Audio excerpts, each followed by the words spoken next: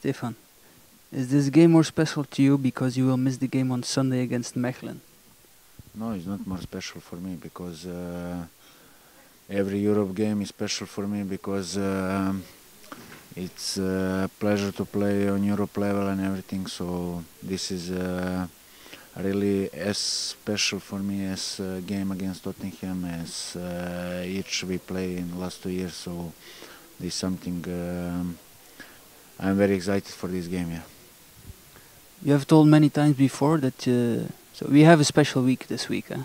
You have told many times before that you like these kind of games with a lot of pressure and tension. Why is that? Can you explain?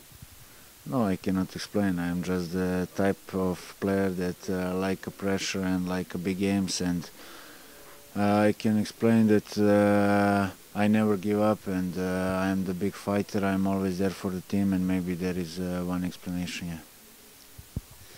We are the first Belgium team that qualifies for the round of 16 in the Champions League and the Europa League, so two years in a row. Uh, what does that say about the team and the club?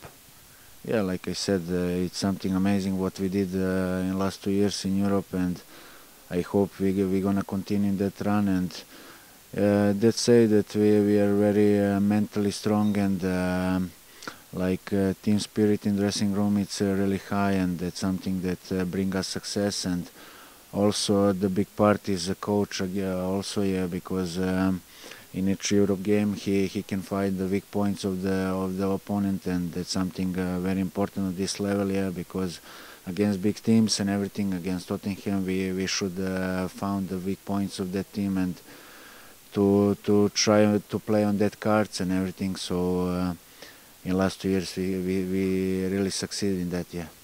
Okay. Thank you stefan and good luck tomorrow